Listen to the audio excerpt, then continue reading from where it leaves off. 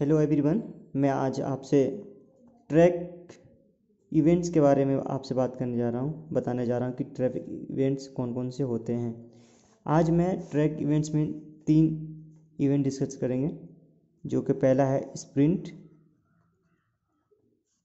दूसरा है middle distance तीसरा है लॉन्ग डिस्टेंस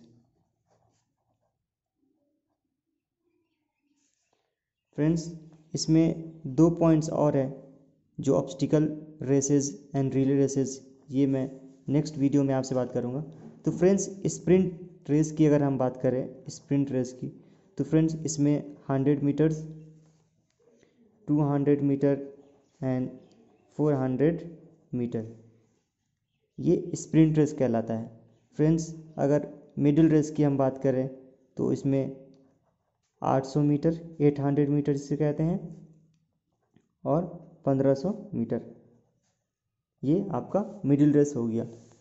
फ्रेंड्स अगर लॉन्ग डिस्टेंस की बात करें लॉन्ग डिस्टेंस लॉन्ग रेस की बात करें तो इसमें तीन हज़ार मीटर, तीन हज़ार मीटर जो कि वीमेंस के लिए है ना मोस्टली होता है।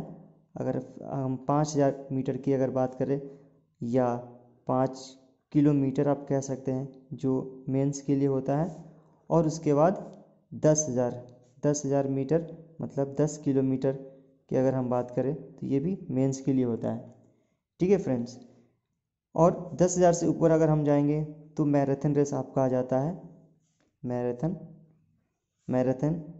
उसके बाद ट्वेंटी किलोमीटर वॉक वॉक हो गया। उसके बाद पचास किलोमीटर वॉक होता है, फिर पचास kilometre cross country cross country cross country race हो गया फ्रेंड्स फ्रेंड्स तो ये आज मैंने आपसे तीन रेसेस के बारे में हमने बात की है स्प्रिंट मिडिल रेस और लॉन्ग रेस मतलब लॉन्ग डिस्टेंस रेस आपको वीडियो कैसा लगा कमेंट सेक्शन में ज़रूर बताएँ और प्लीज़ सब्सक्राइब मेरे चैनल को कर दें आप और शेयर भी।